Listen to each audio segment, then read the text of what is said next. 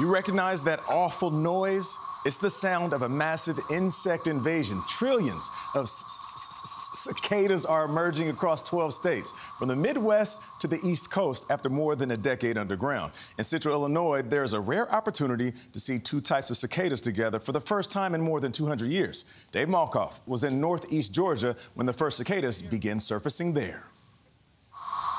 These are the coming attractions. You can see right here, it's going to split open.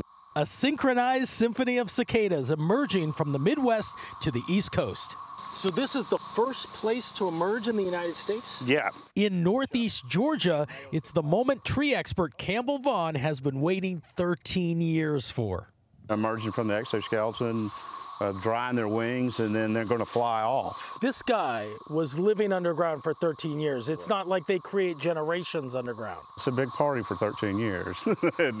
Take a second and just listen to this. In real life, it's hard to tell exactly where the sound is coming from. That's because it's all happening in the treetops, 60 feet above us. This is where the action happens, where they are separated from predators that will gobble them up. They're looking to attract a mate. This is the first time this has happened since Thomas Jefferson was president. This year, in a rare dual emergence, the 13 year brood is making its appearance at the same time as the one that surfaces every 17 years, a cycle that aligns every 221 years and hasn't happened since 1803.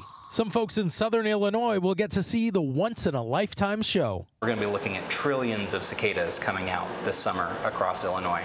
Oh, wait, wait, I think I got one.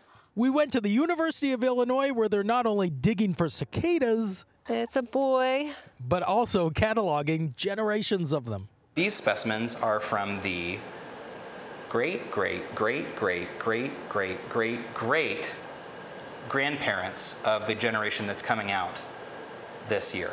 For cicadas, their long wait can sometimes end quickly everything eats them, from birds to squirrels. Snakes and frogs and and people. It, it, people, hey, we might get lucky to do yeah. that.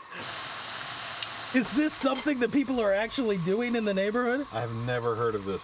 With a little hot sauce, these are a very rare kind of uh, wings. You just ate it. What's it taste like?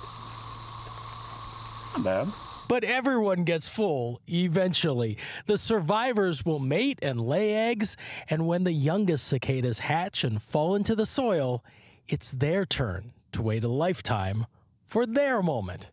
For CBS Mornings, Dave Malkoff in Lincoln County, Georgia.